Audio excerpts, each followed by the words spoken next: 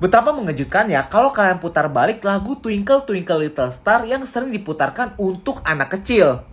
Jadi dipercaya dalam lagu Twinkle Twinkle Little Star terdapat sebuah lirik yang memiliki makna tersembunyi. Yuk kita denger bareng-bareng.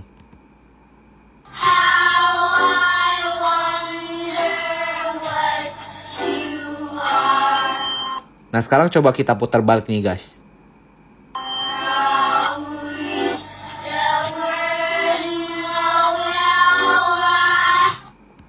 Dan dipercayai kalau ini lagu diputar untuk anak-anak berusia muda agar ketika mereka nanti besar akan menjadi seorang ateis. Karena Allah di dalam Arabik itu menandakan nama Tuhan.